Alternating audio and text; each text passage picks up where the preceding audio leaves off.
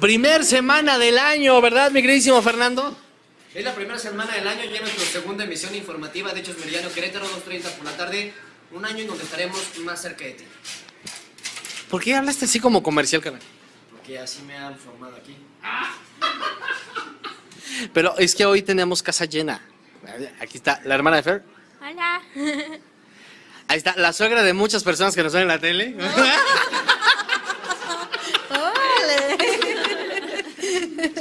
Encantado de estar en esas instalaciones. ¿Vea que están bonitas? Sí, sí. La foto de su hijo y la mía no se vaya a espantar. Es que fue Halloween hace poquito y las tuvimos que poner para, para que estuviera así adaptado. Ajá. Ya, ya. Lo- lo- nuestros colaboradores del juguetón, muchachos, digan hola. Qué bonito. A ver, ve- véngase para acá, señor.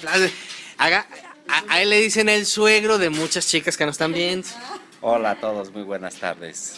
Eso es todo, Chihuahua. Bueno, pues nosotros ya estamos a punto de entrar al aire, estamos recibiendo las últimas instrucciones, tenemos mucha luz, mire, mucha luz. Oh, otra vez, oh. Bueno, ahorita regresamos.